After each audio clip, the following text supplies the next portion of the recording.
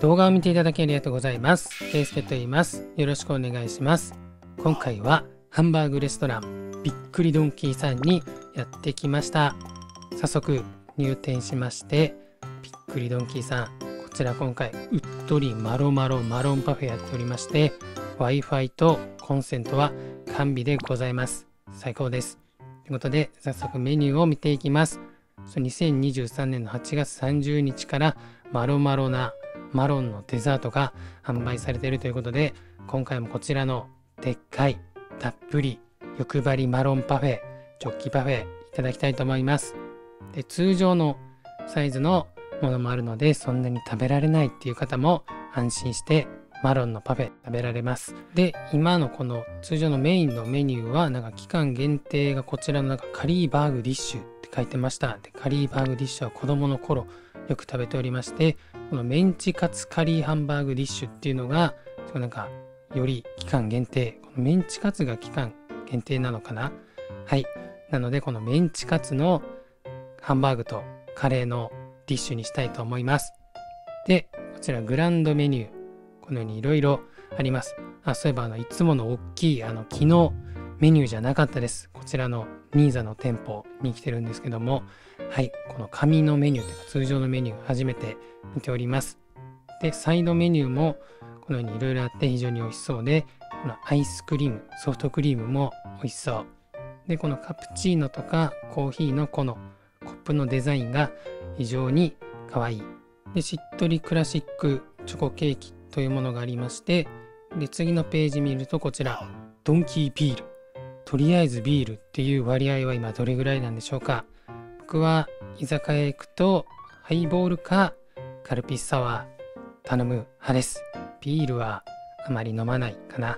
はい。で彩りセットっていうのがあってこちら乳小麦卵を使わないハンバーグ。一体どんな味がするんだ。はい。でお子様メニューも充実してるのでお子様と来てもとても楽しめると思います。でランチメニューいつも頼んでるんですけどもこの日はちょっと日曜祝日か祝日に来たのでランチメニューは頼めないということになっております。一部繁忙期もこのランチメニューは頼めない。でもこの味噌汁が非常にびっくりドンキーさん美味しいんでまたランチも食べに行きたい。でモーニングもありましてなんかすっごいドンキースペシャルブレックファスト結構1000円ぐらいいい値段します。でこのモーニングはすごいこのホットコーヒーとアイスコーヒーに限ってはなんとおかわり自由。もう朝からカフェインの沼にはまることができちゃいます。で追加ハンバーグもできちゃいます。はいそれではやってきました。メンチカツカリーハンバーグディッシュ。1550円。すごいでかい。もう超ボリューミーです。来た瞬間ちょっと焦りました。ご飯は普通サイズにしております。それではいただきます。まずはサラダからいただきます。びっくりドンキー。もう子供の頃から言ってるけどこの変わらないサラダ。もう変わらずにうまい。と毎回も言ってるけど毎回美味しくて感動してます。でなんか味噌汁が注文数ナンバーワンってなんかここの看板に書いてありました。ハンバーグよりも味噌汁が注文されてるのかって思いました。すごい。味噌汁です。飲んだことがない方はぜひ飲んでほしい。でこちらハンバーグとメンチカツなんですけどメンチカツの方がやや大きいということでちょっと迷ったんですけどまずメンチカツからいただきたいと思います。でメンチカツの肉汁を肉汁？肉汁をチェックするとすごいいい具合に出てきます。それではカレーとご飯とメンチカツカレーでいただきます。大きい一口で食べるとこちらも超もうますぎて眉毛が非常に上がりました。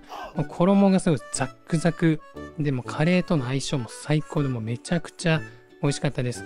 もうお肉のこの肉汁甘みうまみもすごい感じて非常に美味しいメンチカツでした。これハンバーグなしでメンチカツオンリーもできるそうなんでぜひ食べてほしいです。でカレーはひき肉が入っててスパイシーでもこのご飯がもう猛烈に進むといったカレーです。ということで次はハンバーグと一緒に食べます。このハンバーグカレーももう超もうますぎてもうなんかもう変な顔してます。で子供の頃からも外食でびっくりドンキーだと本当さっきも言ったけどカレーバーグディッシュ毎回頼んでてすごい餃子の王将も近くにありまして餃子の王将すごいもう安くて早くてうまいていうことでもあのうちの親父はもうすごい気が短くてあのなかなか料理がもうちょっと出てこないだけでイライラするせっかちさんなんで餃子の王将は非常にありがたい存在だったと思います母親的にはい。ということで、贅沢食い、ハンバーグとメンチカツ一緒に食べようとしたら、ちょっとあまりにも大きすぎたので、ちょっと無理やり一緒に食べたら、もうこの熱すぎて、メンチカツが、もうほんとメンチカツ最初も熱かったんですけども、後半になるまでもすっごい熱々出来たてで提供してくれて、そこも美味しいポイントの一つかなと思います。はい。で、かなりボリュームもあって、カロリーがなんと1207キロカロリー。このハンバーグディッシュ単体で。でご飯普通でこれなんで、かなりすごいカロリーです。でおかずに対してご飯がやや不足するんで、なんかご飯大盛りの方がいっぱい食べられる方はいいのかなと思いました。ということで、このラストメンチカツを食べてご飯、カレーなどをさらいまして、こちら完食しました。めっちゃ美味しかったです。ほんとこのメンチカツもハンバーグも最高でした。ってことで、食後のデザートにはあまりにも大きすぎるジョッキパフェマロン。ちらも注文しました。で下の方にはゼリー、クリーム、あとはシリアルっぽいものなどなどいろいろ入っております。ということで通常のこのコップと比べると3倍ぐらいはあるかなとかやってたらアイスが垂れてくるんで早めに食べましょう。はい。ということで一番上のこの栗の部分とこのマロンソースっぽいものからいただきます。で、ちょっとこのジョッキパフェは3回目なんですけど、いちご、桃とついで、このマロンパフェもめちゃめちゃ美味しかったです。当たり前なんですけど、しっかり栗、モンブランを感じます。で、アイスがこのようにいっぱい入ってて、で、この結構甘めなんですけども、本当栗も感じられて、栗も4個ぐらい乗ってるし、もうすごいうまうまなパフェでした。で、このびっくりドンキーのこのジョッキパフェ、てかパフェ、白玉が乗ってるんですけど、この白玉がもっちもち、ふわふわで、この白玉もすごい美味しい。で、さらに下にはこの紅茶のシフォンケーキも入っております。この紅茶のシフォンケーキがすごい香りが良くて、すごいしっとり、滑らかシフォンケーキで全然パサパサじゃなくて、このパフェとの一体感、そして栗たちともとても相性が良かったです。で、最深部、一番深いところはシリアル、あとはこのゼリーが入ってるんですけども、このゼリーはコーヒーかと思いきや紅茶のゼリー。でシリアルはこのケロックのチョコクリスピーのようなもの、多分チョコクリスピーかなと思うんですけども、それが入っておりました。このケロックのこのシリアルシリーズ、めっちゃ美味しいですよね。僕はコーンフロスティーかチョコクリスピーが好きだったなと思います。久しぶりに買おうかなとか思っちゃいます。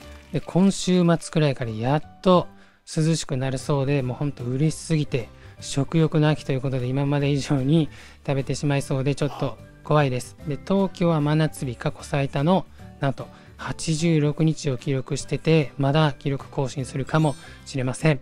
はい。ってことで、本当に今年暑すぎて、多分皆さん疲れてると思うんで、涼しくなったらよく寝て、よく食べて、体を栄養と休息でゆっくり休ませてください。はい、ちょっと何言ってるかわからないですけど、皆さんが食べに行く際の参考になるような動画をこれからも楽しくアップしていて、今年中にチャンネル登録1万人を目指しているので、高評価、チャンネル登録していただけるととても嬉しいです。今回も蒸気パフェ、マロン、めちゃめちゃ美味しかったので、ぜひ食べに行ってみてほしいです。ということで、ごちそうさまでした。